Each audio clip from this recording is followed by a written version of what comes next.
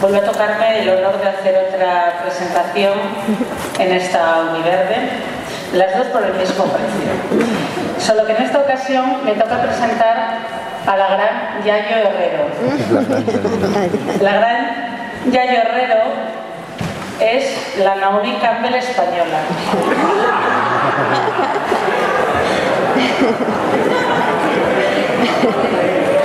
Naomi le dice Campbell, ¿por qué no? ¿Por qué no? La Naomi Campbell. La Naomi Campbell y la Naomi Klein, porque es guapa por fuera y por dentro, y siempre está con una sonrisa. Bueno, digo yo, la Naomi Klein, lo tenía así, ¿eh? A ver, tenemos tenemos a una gran mujer que es ingeniera, educadora social, antropóloga y activista siempre. Ha sido nueve años coordinadora estatal de Ecologistas en Acción. Es directora de FUGEIM, una fundación cuyos ejes, cuyos tres principales ejes son la cohesión social, la sostenibilidad y la democracia como los tres ejes de trabajo principales. Es una gran divulgadora y explica además con mucha claridad las relaciones entre la crisis ecológica y el capitalismo. Por citar eh, dos de sus, eh, no sé si más importantes, pero más recientes también, eh, libros colectivos, tenemos La gran encrucijada y Cambiar las gafas para mirar el mundo hacia una cultura de, de la sostenibilidad. Ella me recalca que son libros colectivos, no escritos capítulo a capítulo, donde uno dice una cosa y otro dice otra. También me dice que ha sido en tiempo pues mucho más largo hacer este trabajo colectivo. Y es algo que tiene fondo y forma. A veces el tiempo para hacer trabajos colectivos merece la pena. No quiero robar más tiempo y doy paso a Yayo que nos va, que nos va a hablar de una ponencia titulada Aportes ecofeministas a la defensa de la tierra y de las personas. Cuando quieras, Yayo.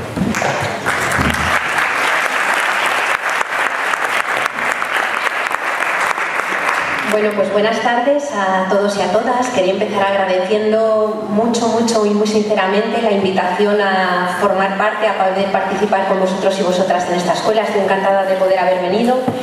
Y también eh, quiero agradecer la presentación, aunque como veis soy un poco más bajita y más descolorida que Naomi Campbell. y desde luego, eh, vamos, eh, sería un gran orgullo también el poder parecerse un poquito a Naomi Klein. ¿no? Estas presentaciones que uno agradece tanto también generan a veces unas expectativas que espero no, no defraudar. Bueno, lo que yo querría hacer en este rato que vamos a, compartir es eh, básicamente tratar de reflexionar con vosotros y vosotras sobre las aportaciones que un movimiento y una corriente de pensamiento como es el ecofeminismo aporta a lo que es la ecología política, aporta y en qué sentido modifica, completa y da un sentido pleno a lo que es la propuesta de la ecología política. Porque a tantas de nosotras nos parece difícil eh, o casi imposible poder pensar en una transición a la sostenibilidad que no incorpore de raíz que no incorpore plenamente lo que postula el movimiento ecofeminista. ¿no? Por tanto, lo que vamos a hacer va a ser compartir un poquito qué es esto del ecofeminismo con unas pinceladas muy rápidas, tratar de ver cuáles son sus principales aportes y que de alguna manera, cómo de alguna manera puede ayudarnos a amplificar estas luchas, estos procesos de cambio en un mundo que podría decirse que le ha declarado la guerra a la vida, en un mundo en el que la cultura, la política y la economía se están desarrollando y están creciendo como si fueran un tumor, devorando precisamente aquello que nos permite sostenernos como personas, aquello que nos permite sostenernos como sociedades. ¿no? Bueno, pues el ecofeminismo, como decía, es una corriente de pensamiento y un movimiento social. Y para mí esto es fundamental. Es fundamental porque con demasiada frecuencia vemos cómo las personas que piensan sobre el mundo se desligan de la tarea de querer transformarlo. Y para mí esta es una dicotomía tan perniciosa como tantas otras que tenemos en la sociedad. ¿no? Ver cómo personas en el mundo de la academia o en el mundo científico esbozan teorías que luego no se ven plasmadas en la acción social para poder transformar el mundo. Esa conexión entre el movimiento y el pensamiento a mí me parece que es absolutamente crucial en este momento. Como término, el ecofeminismo se utiliza por primera vez en 1974. Fijaos que estamos en esa década en la que se publica el informe sobre los límites al crecimiento, en aquella primera crisis del petróleo, ¿no? y casi en el nacimiento del movimiento ecologista como tal movimiento, aunque la preocupación ecologista ya venía de mucho antes, al igual que la feminista. ¿no? Eh, Françoise Dobon, esta francesa que utiliza por primera vez el, término ecofeminismo, llama la atención en aquel momento, como han hecho todas las ecofeministas posteriores, sobre la íntima relación que existe entre la degradación de los sistemas naturales y la, subordinación de las mujeres en las sociedades capitalistas. Lo que vamos a tratar es de ir desgranando dónde está esa íntima relación, por qué forma parte de lo mismo. ¿no? Eh, bueno, pues empezar diciendo que los seres humanos, eh, voy a empezar diciendo una obviedad, los seres humanos vivimos encarnados en cuerpos, en cuerpos que son vulnerables, en cuerpos que son finitos, en cuerpos que nacen, que se nutren, que excretan, que envejecen y que mueren. Son cuerpos que hay que sostener para poder estar vivos y vivas. Y esos cuerpos no se sostienen solos. La vida humana individual es radicalmente imposible. Es obvio en los primeros años de la infancia, vuelve a ser obvio en el momento de la vejez, donde hay muchas personas que no se pueden ni levantar de una cama, ni alimentarse, ni acostarse, si no hay otras alrededor que dedican una cantidad importante de tiempo al cuidado de esos cuerpos vulnerables. ¿no? Y esos cuerpos vulnerables y finitos en los que vivimos encarnados como seres humanos, a la vez están insertos en una naturaleza. En una naturaleza que provee y se ocupa de sostener cotidianamente la vida. En una naturaleza que es donde se producen los alimentos, en una naturaleza que se autoorganiza, que no funciona con la lógica de una máquina y en una naturaleza que tiene límites. Por tanto, la vida humana es ecodependiente e interdependiente. Por ser ecodependientes, está radicalmente sujeta a los límites de la naturaleza y por ser interdependiente es una vida vulnerable, es una vida inmanente. Es decir, cada vida humana individualmente no es una certeza, es una posibilidad. Y lo que hace que cada uno de nosotros y nosotras estemos aquí es que esa posibilidad se transforme en algo cierto cuando vivimos en sociedades en las que hay un marco de vínculos, relaciones, procesos, tareas y trabajos que permiten que se sostenga cotidianamente la vida. ¿no? Por eso somos radicalmente ecodependientes e interdependientes. Sin embargo, como luego trataremos de desgranar, la cultura occidental, la política y la economía hegemónicas que se han desarrollado en Occidente viven de espaldas a esta realidad física, viven como si no tuviéramos que sostener los cuerpos y se han desarrollado como si no estuviéramos directamente conectados y ligados a la naturaleza.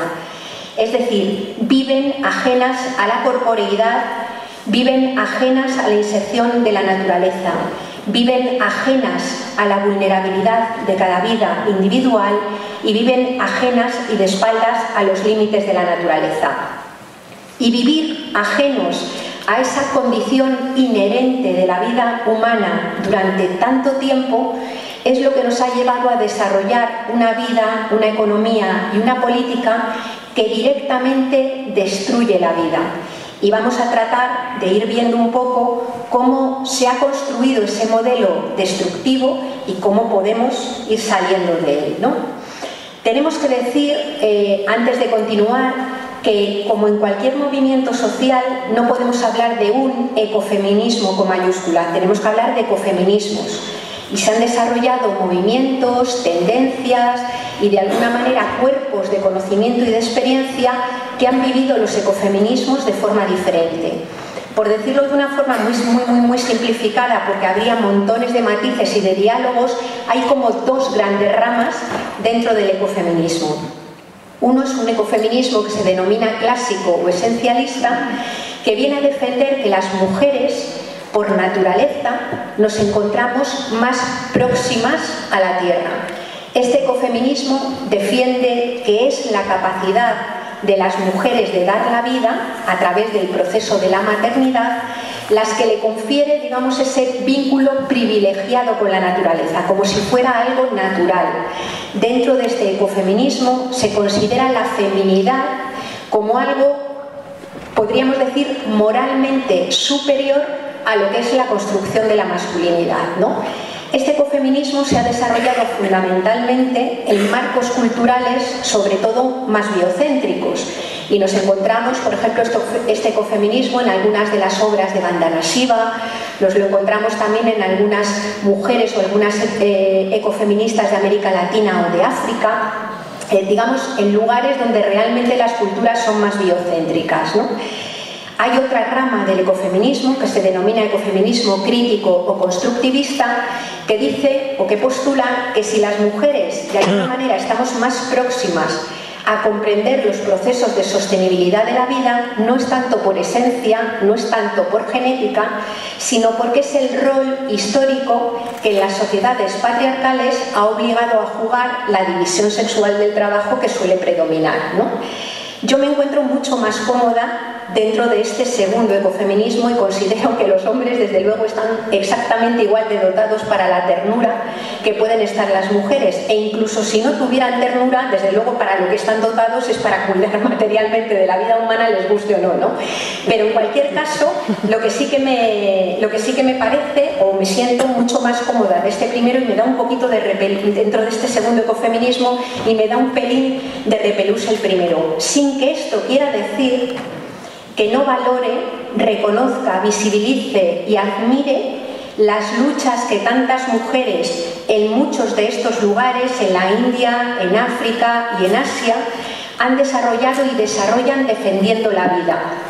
Muchas de las luchas contra las grandes transnacionales, por ejemplo, de las patentes transgénicas, contra las grandes industrias extractivistas o contra grandes eh, proyectos, digamos, eh, de corte de industria química, están siendo protagonizadas por muchas de estas mujeres que se reconocen o se perciben más vinculadas a la tierra.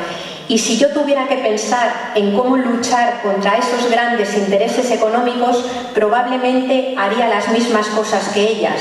Es decir, que partiendo de un planteamiento epistémico diferente, probablemente llegaría a las mismas conclusiones. Por tanto, para mí ellas son también hermanas, compañeras de lucha y no me produce en principio ningún tipo de separación en la práctica esa diferencia a la hora de considerar el planteamiento ecofeminista. ¿no? Bueno, todos los ecofeminismos en lo que sí coinciden es en un planteamiento central y es en señalar que el pecado original que tiene la cultura occidental o que ha desarrollado nuestro marco cultural es el haber establecido una radical separación entre la naturaleza y la cultura, entre la naturaleza y los seres humanos, Jorge Rietzmann suele denominar abismo ontológico a esa tremenda separación cultural que se ha establecido entre la naturaleza, entre los sistemas naturales, entre la biosfera y la propia cultura humana, como si fueran algo radicalmente diferente que incluso estuviera contrapuesto y sobre todo en el que la cultura tiene un enorme valor jerárquico por encima de los sistemas naturales y de la naturaleza. ¿no? Este dualismo, esta fractura, nos la encontramos, eh, si rastreamos históricamente, muy pronto dentro de la cultura occidental. ¿no? ¿Os acordáis cuando estudiábamos en la escuela a Platón con su dualismo, ese dualismo que establecía entre el mundo de las cosas, es decir, el mundo de la naturaleza material, ese mundo caótico eh, y desordenado, y sin embargo la mente, ese logos que permitía ordenar el mundo. Platón establece una tremenda separación entre la naturaleza, incorporando dentro de la naturaleza el cuerpo como la parte corruptible o como la parte natural de lo que es la persona y la mente o la capacidad de razonar como algo radicalmente diferente y desde luego con más valor. Consideraba Platón que era precisamente la mente y la capacidad de pensar la que otorgaba la condición humana, muy por encima o separada del cuerpo, ¿no? Esto que nos retrotrae a la filosofía y parece que no puede tener, que quizás no tendría por qué tener consecuencias, sin embargo vemos cómo también toma cuerpo muy rápidamente en la política. Si nos retrotraemos, por ejemplo, a una práctica política que admiramos y de la que hemos aprendido tanto y tenemos que seguir aprendiendo, como fue la democracia ateniense, nos damos cuenta cómo este marco dicotómico toma cuerpo organizativo, económico y político muy pronto. ¿Os acordáis en Atenas eh, existía un ciudadano. En el momento de mayor apogeo de la democracia ateniense se hablaba de que existían unos 34.000 ciudadanos que eran los que acudían al ágora, tomaban decisiones sobre la vida en común, legislaban y decidían cómo organizar el territorio, la economía y la vida. Y cuando digo ciudadanos, digo ciudadanos, porque a la vez que había 34.000 ciudadanos en la democracia ateniense, en ese mismo momento podía haber alrededor de unos 150.000 esclavos y esclavas.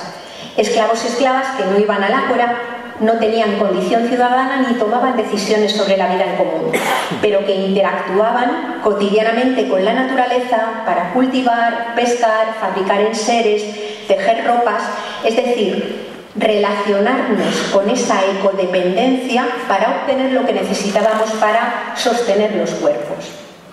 Y no solamente había en Atenas 150.000 ciudadanos, eh, perdón, 150.000 esclavos, sino que es de suponer que hubiera también aproximadamente unas 34.000 esposas.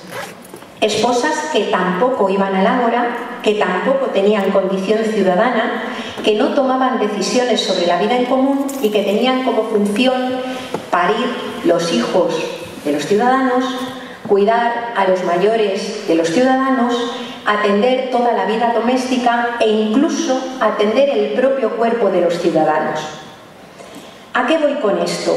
El sujeto político, el sujeto ciudadano que emerge en ese marco cultural es un sujeto que interpreta lo público, que interpreta la vida política como un espacio en el que es posible desvincularse de la naturaleza porque hay otros fuera de ese marco público que interactúan con ella para obtener lo que se necesita para estar vivo y pueden desconectarse del cuidado de los cuerpos de otras personas vulnerables y de su propio cuerpo, porque hay otras personas que en un lugar oculto, el entorno doméstico, se ocupan de mantenerlo. Es decir, el ciudadano concurre al espacio público sin tener las obligaciones de ser especie, sin tener las obligaciones de tener cuerpo, sin tener las obligaciones de formar parte de una estructura interdependiente que hay que sostener con una enorme cadena de mediaciones y de trabajo. Conforma una especie de sujeto abstracto que se percibe libre y entiende la libertad, entiende la autonomía como esa desvinculación con el mundo natural y como esa desvinculación con el mundo de los cuerpos. Obviamente nadie puede vivir desvinculado de la tierra, de su propio cuerpo y del de otros y otras. Pero sin embargo, esa ficción se puede mantener porque existe un entorno desvalorizado e invisible donde se mantienen esas relaciones. Esa es la esencia del patriarcado. La suposición de que existen algunas personas que luego por antonomasia son extendidas como si fueran el sujeto universal, que se pueden permitir desvincularse de la base material, insisto, porque hay otros sujetos, el sujeto colonizado, el sujeto invadido, el sujeto esclavizado o las mujeres, que se ocupan sistemáticamente de mantener esas relaciones. ¿no? Esa forma organizativa, esa, eh, digamos, división esencial, ese abismo ontológico, ha venido cristalizando en las estructuras posteriores y se ha mantenido dentro de nuestra cultura occidental. Nos la encontramos en la cultura judeocristiana, con ese androcentrismo que sitúa a la especie humana y fundamentalmente a la especie humana masculina como centro de una creación que ha sido de alguna manera fabricada y se pone a su servicio, sobre la que ejerce una función de tutela, pero nos lo encontramos, por ejemplo, también con el nacimiento de la ciencia moderna, nos lo encontramos en Descartes. Descartes reproduce casi completamente el propio modelo de Platón y también hace una separación tremenda entre naturaleza y ciencia, cultura y razón, entre cuerpos y razón. Dice Backlund una mm, ecofeminista de las más conocidas, que Descartes ejerce o realiza una especie de despellejamiento del ser humano que deja el yo reducido a pura eh, conciencia desencarnada. Es decir, alejando la idea de vulnerabilidad, alejando la idea de límites.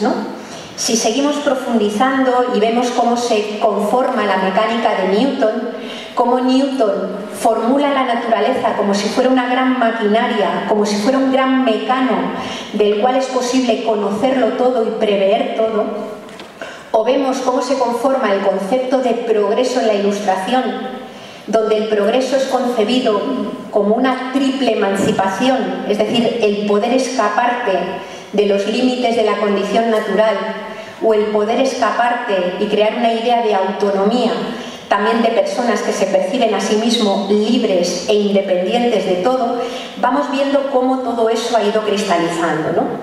Pero donde ya toma cuerpo y adquiere una escala y una dimensión brutal es con la triple palanca que conforman el modelo económico capitalista, un modelo tecnocientífico que se ha puesto a su servicio y que raya a veces en la pura tecnolatría, es decir, en una especie de fe tecnológica en la cual terminamos suponiendo que la tecnología va a resolver incluso los problemas que ella misma ha creado, y la disponibilidad de energía fósil, que en el momento y a partir de la revolución industrial proporciona una enorme capacidad para aumentar la escala de la intervención de la economía y la política en todo el planeta. ¿Cómo influye o cómo incorpora también esta mirada, digamos, patriarcal eh, y antiecológica, por así decir, el capitalismo y todo este modelo tecnocientífico? ¿no? Primeramente, sosteniendo una serie de mitos y de ficciones. Dentro de nuestro modelo económico hegemónico, yo creo que esto el ecologismo social lo ha trabajado muy bien, eh, lo que se ha establecido ha sido una noción de valor que deja este concepto reducido al puro precio. Dentro de nuestro modelo económico solamente tiene valor aquello a lo que se le puede asignar un precio. Y sabemos perfectamente que ni la fotosíntesis, ni el ciclo del agua, ni la capa de ozono, ni la capacidad de regeneración eh, de los suelos pueden tener asignado un precio, aunque la economía intente hacerlo y le ponga precio. Tampoco tiene precio ni tiene valor en el mercado los trabajos que sistemáticamente y mayoritariamente mujeres realizan en el marco de los hogares para sostener cotidianamente la vida. Es decir, todas esas tareas que no se pueden dejar de hacer porque si se dejan de hacer simplemente ni hay vida humana ni hay sociedad. ¿no? También dentro de este modelo económico, al reducir el concepto de valor al concepto de precio, se han incorporado o se han pervertido o se han dado la vuelta algunas nociones que no habían nacido así en el marco eh, de la propia historia de la economía, de la llamada ciencia económica, que habría que discutir si es una ciencia o no, pero bueno, en el marco de la propia economía, ¿no? Eh, como son, por ejemplo, todo lo que tiene que ver con el mito de la producción. Claro, cuando reducimos el concepto de valor al concepto de precio, lo que hacemos es denominar producción solamente aquello que hace que crezca la economía en términos monetarios. Se le llama producción a todo aquello que se hace dentro del marco económico que hace crecer los excedentes sociales medidos solamente en términos monetarios. Y eso tiene un riesgo enorme, Primero porque dejamos de visibilizar elementos cruciales de la producción, como es la producción que se hace en el entorno doméstico, entornos de producción de bienes y servicios, insisto, indispensables para el sostenimiento de la vida. Se establece una nueva dicotomía, como la que había antes entre la naturaleza y la cultura o la mente y el cuerpo, que divide lo que llamamos productivo de lo que llamamos reproductivo otorgándole obviamente un valor mucho más grande a lo productivo, que es lo que se realiza en la esfera del mercado. Claro, cuando reducimos el concepto de producción de esa manera y cuando llamamos producción solo a lo que hace crecer monetariamente la economía, empecemos a encontrarnos con problemas bastante grandes. Porque si llamamos producción solo a lo que hace crecer la economía, y además valoramos ese excedente económico que crece como lo único que puede generar bienestar, empezamos a no preguntarnos como sociedad para qué sirve lo que producimos. Cualquier cosa que se produzca es buena en la medida en que haga crecer los valores monetarios.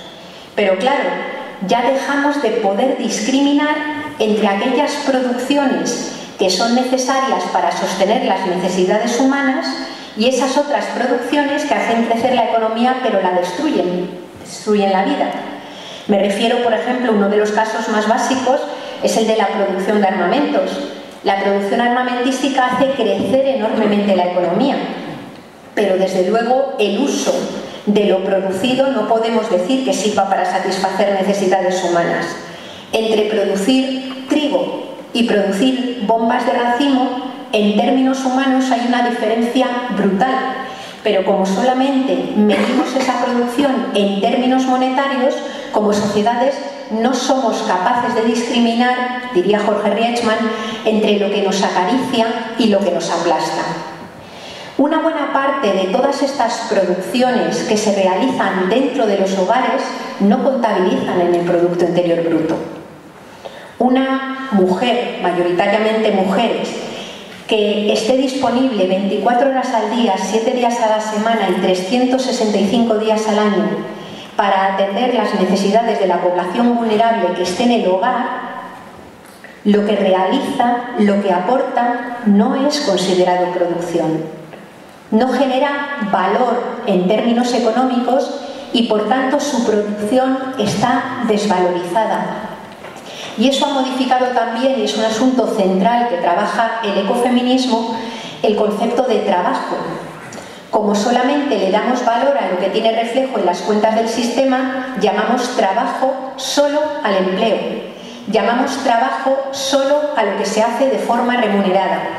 Y todas esas tareas, todos esos trabajos que no son solamente los de los hogares, sino que son también los que realizamos en nuestros ámbitos de activismo, en el voluntariado, en nuestros barrios, todo eso no tiene la consideración de trabajo, lo cual es un problema enorme en una sociedad tan absolutamente empleocéntrica como es la nuestra, en donde la posibilidad de sostener el bienestar, donde la posibilidad de acceder a la renta que necesitas para sostener la vida cotidianamente es absolutamente dependiente del empleo. Si vamos además a tener la posibilidad de tener una pensión cuando seamos mayores o vamos a tener la posibilidad de tener una cierta atención a necesidades básicas, eh, a partir de los servicios públicos es porque previamente hemos cotizado en el marco del empleo esas mujeres que han estado sistemáticamente trabajando durante décadas y disponibles todo su tiempo, no van a tener una pensión por ellas mismas, no van a tener protección pública y común por ellas mismas, las tienen en la medida en la que mantengan un vínculo con alguien que sí ha participado en el mercado laboral, normalmente el vínculo del matrimonio. Por tanto, el mantenimiento de los derechos sociales y económicos no se tiene por el hecho de ser persona, se tiene por el hecho de haber sido empleado o empleada. ¿no? Y esto, en un marco como en el que estamos ahora, en el que la amenaza permanente es la de la materialización, que no va a haber empleo, aparte de todo lo que viene cuando analizamos la dificultad de mantener un modelo productivo que extraiga cantidades ingentes de minerales de la corteza terrestre o que utilice la naturaleza de una forma absolutamente depredadora, sabemos que es imposible. Por tanto, tenemos un problema social de un calado tremendo que es urgente de afrontar y de resolver.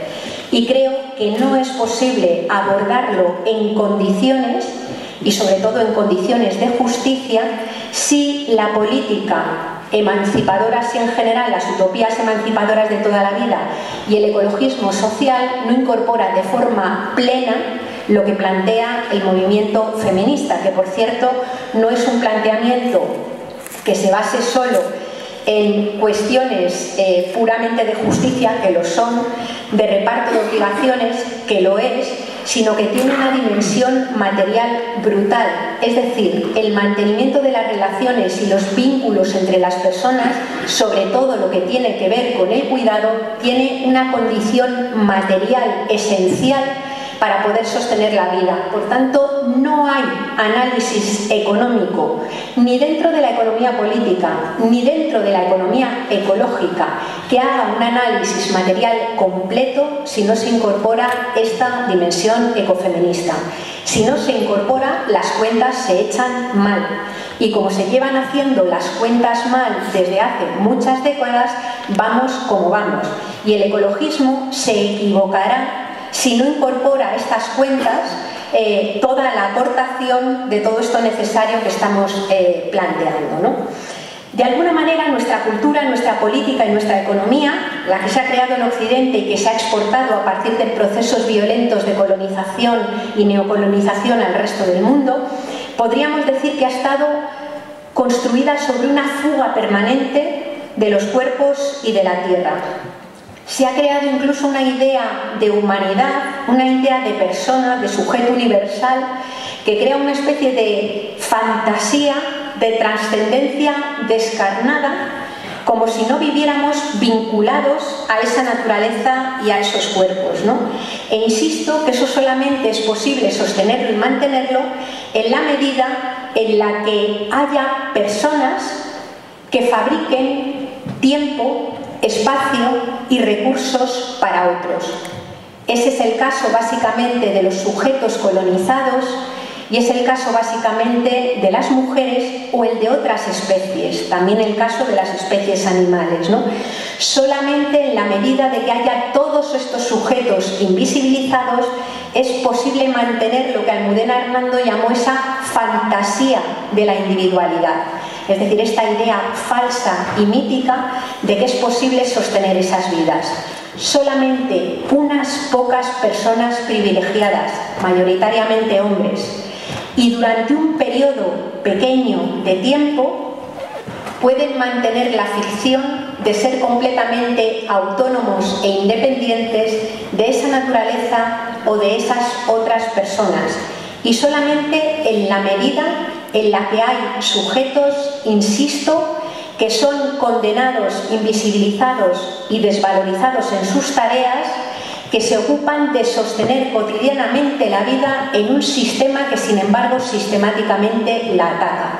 Por eso se produce esa fractura violenta, por eso se produce esa eclosión de la violencia sobre los pueblos originarios, que son sostenidos de alguna manera o que son abocados a esas situaciones, eh, digamos, de sometimiento y de violencia o de las violencias machistas, de esas violencias estructurales que hacen que las mujeres se vean sometidas. ¿no? ¿Qué aporta de alguna manera el ecofeminismo o qué puede aportar eh, a una ecología política que de alguna manera quiera mirar la realidad material completa? ¿no?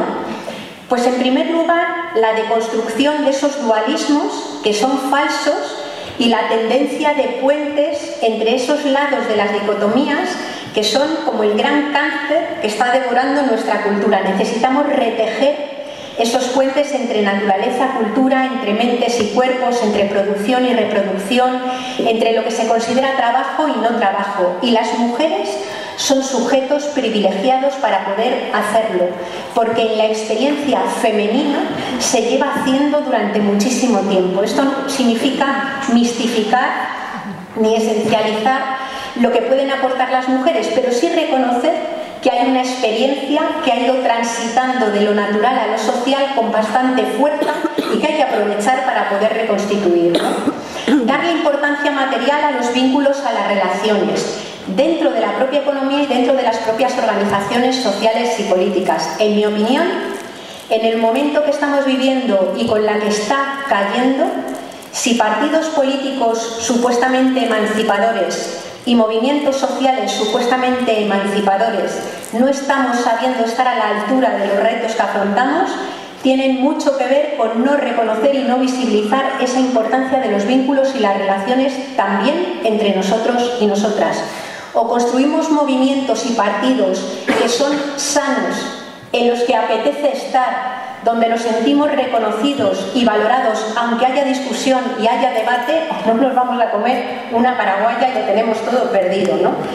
También plantear que necesitamos, aporta el ecofeminismo, completar un análisis sobre el metabolismo social, incorporar todo ese marco de relaciones, complementa el concepto de sostenibilidad, porque la vida, el planeta, se sostiene solito, lo que necesitamos es pensar cómo se sostiene la vida humana en este planeta. Y la vida humana en este planeta se sostiene en la medida que conservemos y observemos esa naturaleza que nos rodea, pero también que mantengamos los vínculos y relaciones sociales que permiten que estemos vivos como especie puede permitir darle la vuelta al concepto de producción, al concepto de trabajo, puede permitir darle la vuelta al concepto de seguridad. Seguridad, desde luego, no es blindar las élites ni poner volardos, obviamente.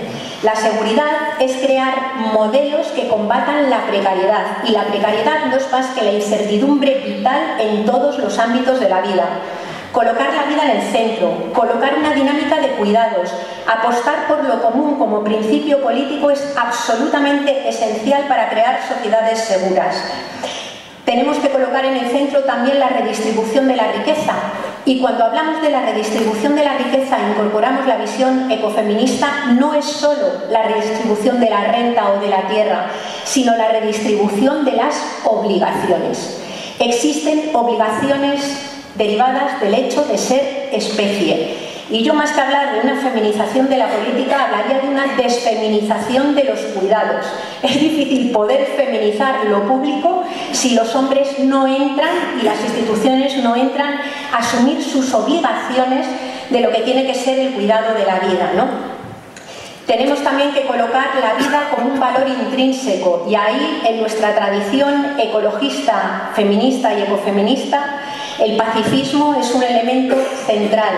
La militarización no es, que es, no es más que el elemento más burdo y más eh, bestia de lo que es la sociedad patriarcal, de lo que es una sociedad que desprecia la vida, de lo que es una sociedad que enaltece incluso la muerte como elemento de dignidad o de resistencia.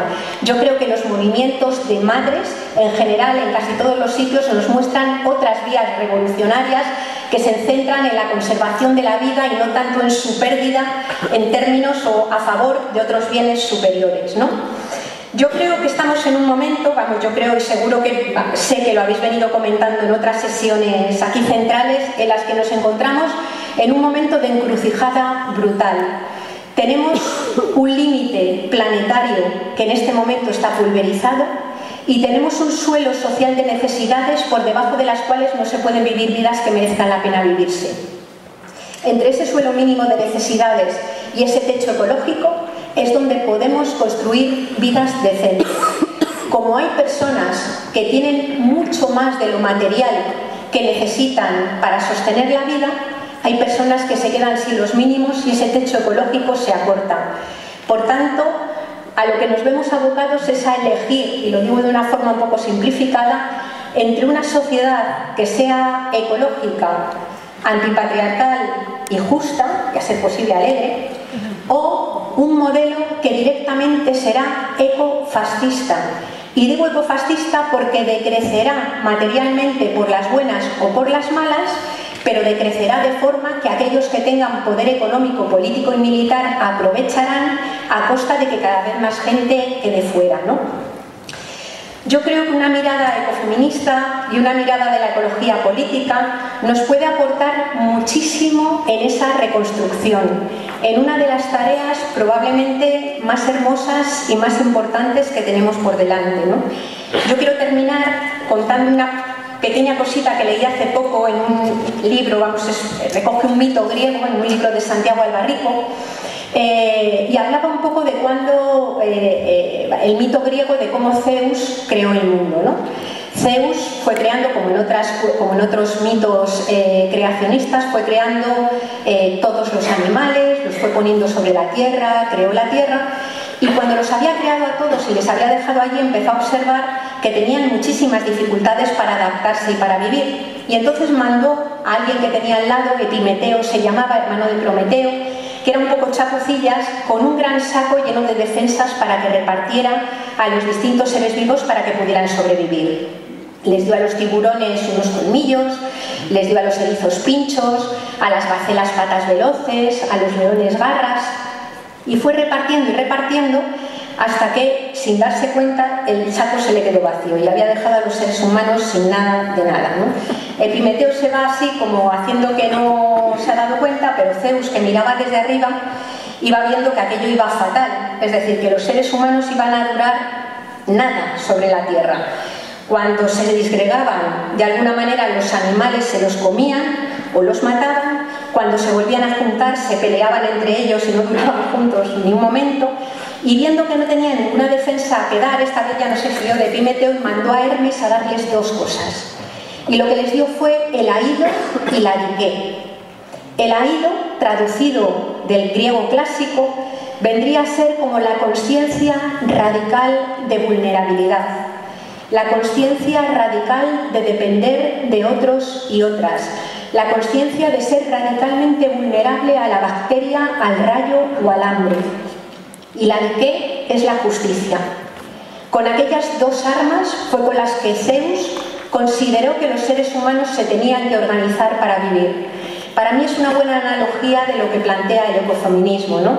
Y es tomar conciencia de esa radical dependencia de nuestra tierra, de esa tierra hermosa, que es compleja y que se ha adaptado hasta con, estrategias y triquiñuelas absolutamente alucinantes para sobrevivir y de esa tremenda vulnerabilidad de los seres humanos. ¿no? En esa cooperación, en ese encuentro, es donde podemos encontrar esa fuerza para poder adaptarnos y darle la vuelta a este momento de encrucijada. Pues muchas gracias.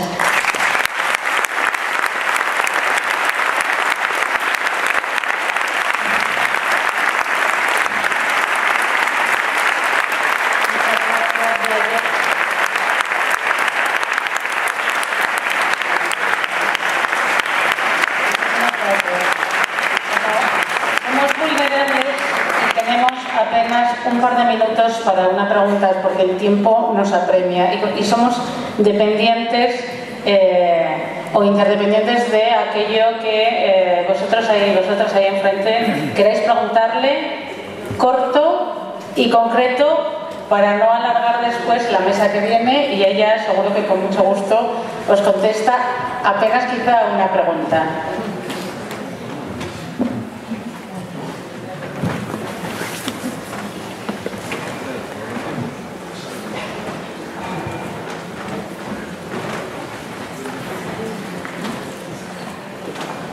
Buenas tardes. En primer lugar, quiero darte las gracias porque has hecho una exposición magnífica, perfectamente estructurada y clarísima. Después quiero hacerte una pregunta eh, muy concreta. Tú propones que se amplíe el concepto de producción, que se amplíe el concepto de trabajo.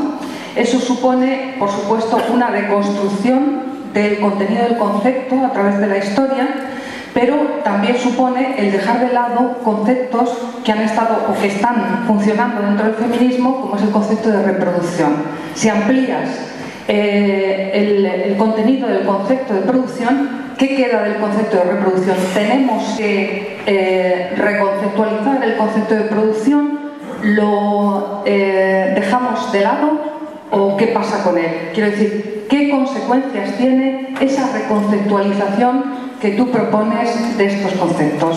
Gracias. más bien eh, que reducir el concepto de reproducción, yo lo que vengo a plantear es que producción y reproducción son lo mismo.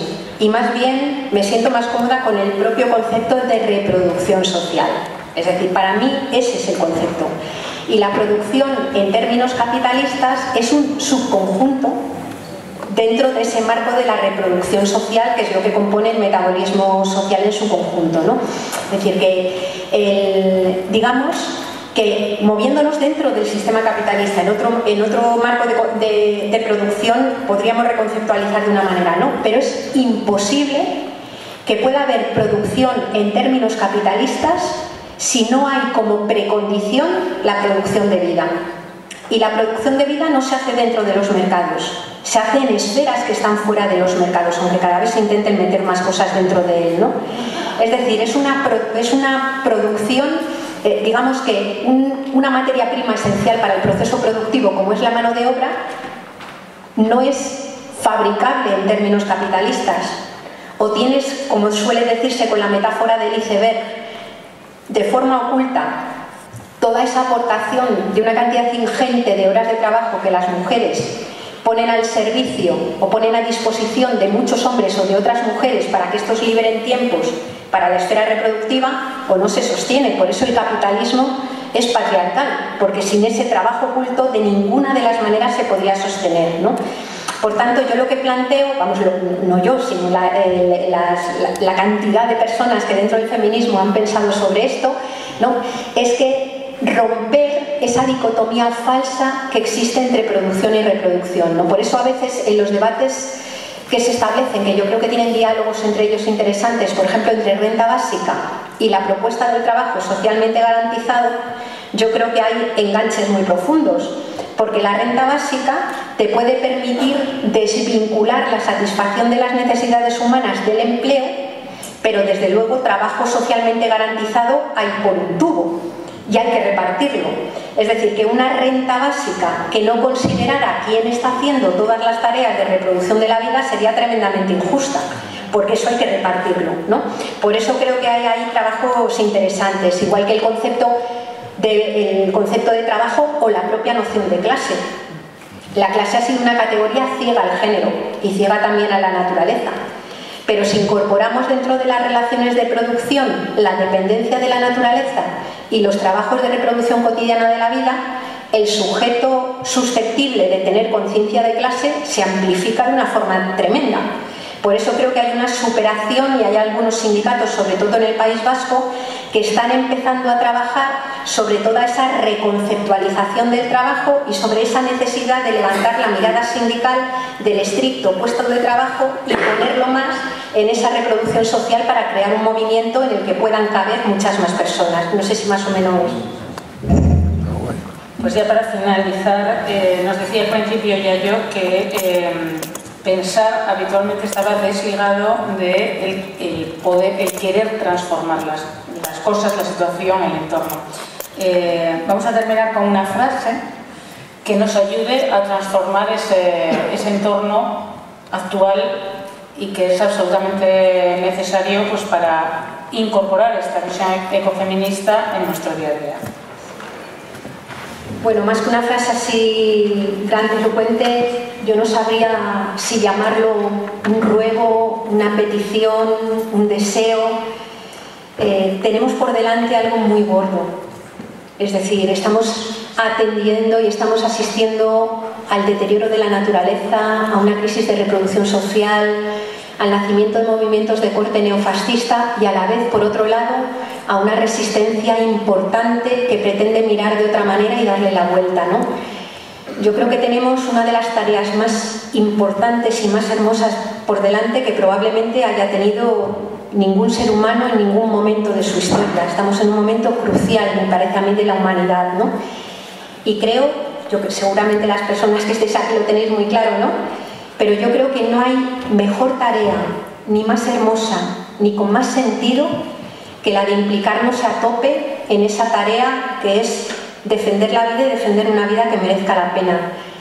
No perdamos tiempo en buscar todas las diferencias, no lo digo, o sea, lo digo así en general, ¿no? de todos los movimientos donde estamos, o busquémoslas para hacerle hueco. Cabe todo, cabe todo. Nos necesitamos mucho unos a otros, otras a unas, y yo estoy convencida de que la gente que estamos aquí, que queremos, es la mejor gente que hay, la que quiere cambiar el mundo, la que la quiere hacer bueno, ¿no? Pues impliquémonos ahí, que tenemos mucha tarea por delante, tenemos hijos, tenemos nietos, tenemos nietas, tenemos hijas y se la debemos a todos ellos y ellas, nos lo debemos a nosotros. Así que a la tarea y espero que salgáis con las pilas puestísimas de este